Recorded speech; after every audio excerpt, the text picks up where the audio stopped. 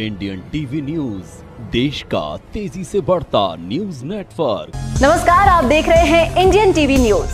आइए आपको ले चलते हैं आज की बड़ी खबर पर। राजूरा शहर के समीप रामपुर बस्ती के वार्ड नंबर दो में साई मंदिर के पास रहने वाले संदीप देवराव निमकर की आज शाम चार बजे अज्ञात लोगों ने रामपुर के जंगल में पत्थर से वार कर निर्मम हत्या कर दी। संदीप निमकर अपने माता पिता के साथ रामपुर में रह रहे थे। नौ दिन पहले उसके परिवार वालों ने पुलिस स्टेशन में उसके लापता होने की सूचना दी, क्योंकि वो सोमवार रात आठ बजे घर से निकला था। तब तक परिजन उसकी हर जगह खोजबीन करते रहे। दोस्तों व रिश्तेदारों के यहाँ तलाश करते हुए मथुरा रोड पर रामपुर के पास जंगल में तलाश करते रहे। तभी झाड़ियों में कटा शव पड़ा मिला। घटना की सूचना राजूरा पुलिस थाने को दी गई तो राजूरा थाने के थानेदार योगेश पारधी मौके पर पहुँचे और पंचनामा किया।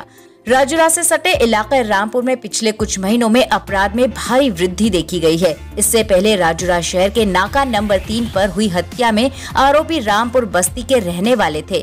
यहाँ बड़ी संख्या में डीजल चोर, कोयला चोर और स्क्रैप चोर हैं। इसके अलावा इस जगह पर बड़ी मात्रा में जुआ और सट्टेबाजी भी होती है। इसलिए यहाँ के युवा भी इसमें शामिल है। और अगर समय रहते इस पर अंकुश नहीं लगाया गया तो ऐसी घटनाएँ दोबारा होने की संभावना से इनकार नहीं किया जा सकता।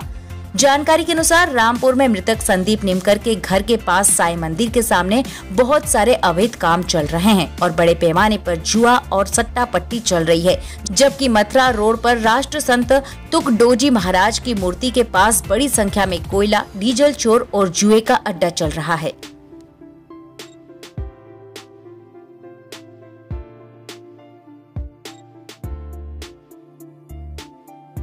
इसी तरह देश दुनिया की हर खबर को जानने के लिए देखते रहिए इंडियन टीवी न्यूज़ हमारे चैनल को सब्सक्राइब कीजिए और हमारे इस वीडियो को शेयर ज़रूर कीजिए। धन्यवाद।